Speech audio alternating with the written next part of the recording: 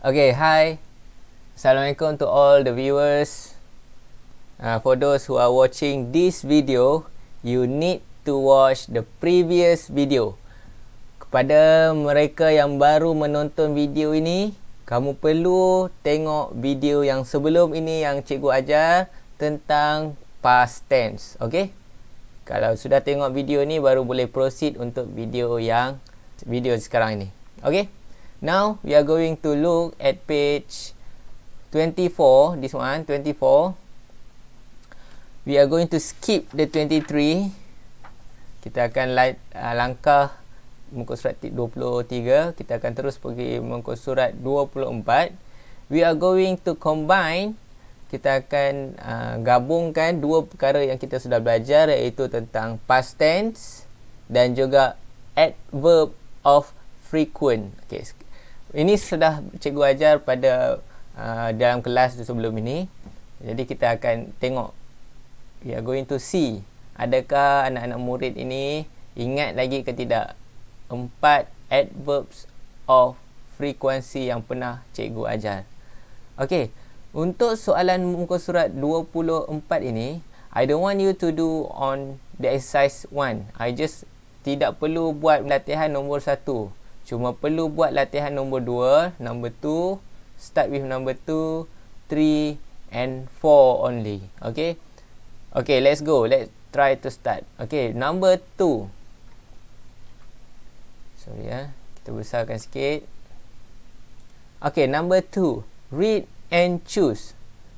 First, pertama sekali kamu perlu kenal pasti dia punya tense adalah present tense ataupun past tense. Okey, past tense maksudnya sudah lepas dan present tense adalah benda yang sedang berlaku dan juga sentiasa berlaku. Lepas dia buat, sekarang dia buat, akan datang pun dia buat. Okey, dia sentiasa berlaku. Itu kita letak sebagai present tense. Kita tengok ayat yang pertama. Dennis usually apa itu usually kebiasaannya. Okey. Tempat kosong pilih satu. Up at 7 in the morning. And tempat kosong breakfast at home. Ada tak perkataan yang menunjukkan dia sudah lepas? Tiada. Tiada perkataan yang menunjukkan dia sudah lepas. Dennis biasanya wakes wakes up at 7 in the morning. And has sebab dia present tense. Wakes has breakfast in the morning. Okey ini menunjukkan dia present tense sebab dia sedang berlaku dan akan berlaku dan sentiasa berlaku. Dia sentiasa kebiasaannya dia bangun pukul 7 pagi dan ambil sarapan di rumah ayat yang kedua. Then, kemudian, he, dia, tempat kosong, to school. Ada tak perkataan yang menunjukkan sudah lepas? Macam mana kita nak tahu perkataan tu uh, sudah lepas? Uh, macam contohnya, kita akan jumpa perkataan seperti kemarin, minggu lepas, bulan lepas. Uh, tu, ada tak perkataan macam tu di sini? Ayat nombor dua. Tiada. Jadi, Nombor dua, then kemudian dia goes to school. Okay, very simple. Kenal pasti dulu present tense ataupun past tense. Tengok ayat yang ketiga. Yesterday, he tempat kosong ups at nine and tempat kosong breakfast at a restaurant. Okey, ada tak perkataan yang menunjukkan dia sudah lepas kejadian itu sudah lepas? Ada? Yang mana? Ha? Cuba cakap sikit walaupun kamu tahu cikgu tak dengar. Mana perkataan yang menunjukkan cikgu uh, sorry, mana perkataan yang menunjukkan perkara ini sudah lepas? Ya, betul. Yesterday. Okey. Perkataan yesterday menunjukkan dia sudah lepas. Jadi, kita kena guna past tense. Yesterday, he woke up at 9 and had breakfast at a restaurant. Okay? Now, number ayat yang keempat, then he tempat kosong to a museum. Ha, ni, then ini menunjukkan selepas kemarin itu. Maksudnya masih lagi kemarin. Tapi selepas dia makan di restoran. Jadi ayat ini masih lagi past tense sebab dia sudah lepas. Lepas dia makan di restoran, kemudian dia went to a museum. When, when ini adalah past tense. It was a lot of fun. Okay? Dapat jawapan dia? Do you get the answer? Very good. Okay. Now I want you to copy the uh, story in your exercise book. Uh, you need to copy, jangan underline saja ya. Okay, now number three, look and write.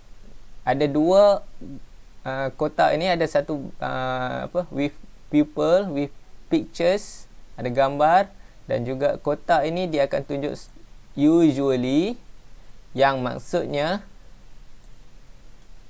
Uh, kebiasaan ataupun kita akan kata sebagai present tense. Ini perkataan yesterday kita akan kata sebagai past tense contoh ayat dia Amina usually wakes up at the seven. okey nampak perkataan wakes up ini dia menunjukkan present tense Okey, kalau dia sudah lepas, apa yang kita mau buat? Mesti ada perkataan yesterday ayat yang kedua. Yesterday she menunjukkan Amina. She ini perempuan, jadi kita pakai she. Amina ni perempuan woke up at 8. Okey? Jadi kena tukar perkataan wakes ini kepada past tense. Okey? Macam mana kita nak tukar?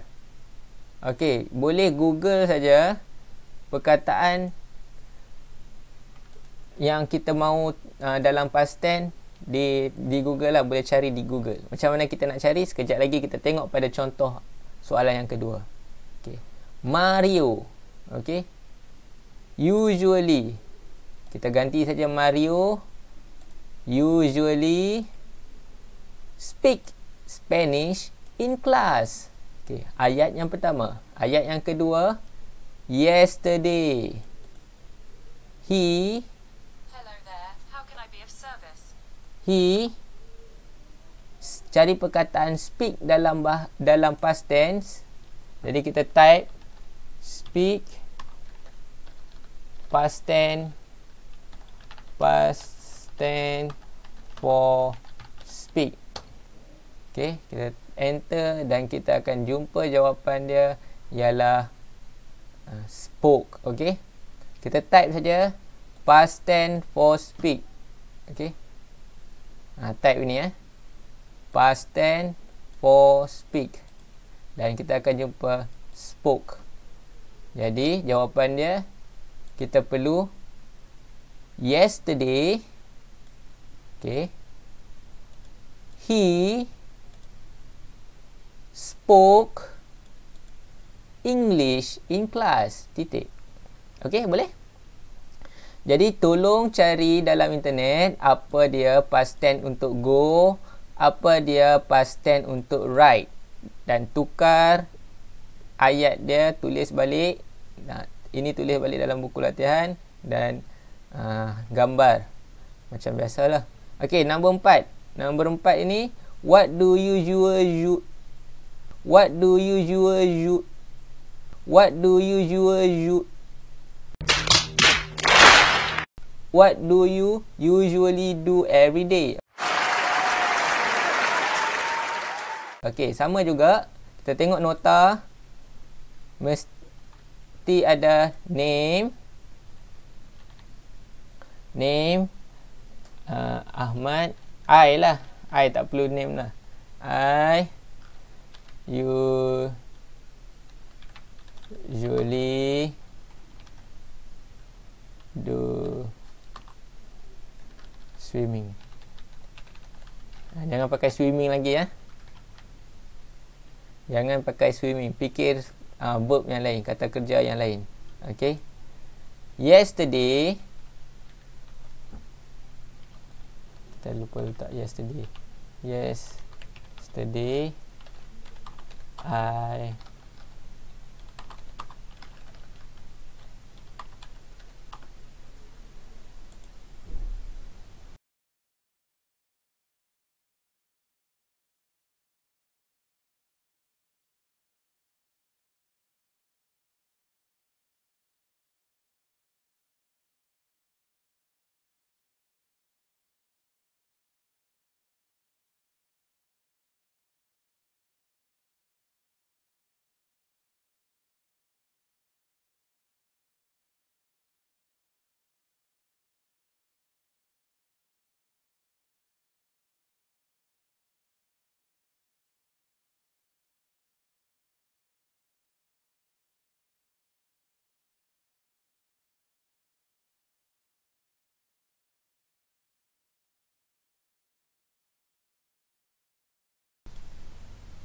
jadi kita kena check past tense for swim. Ha, apa dia? Past tense for swim.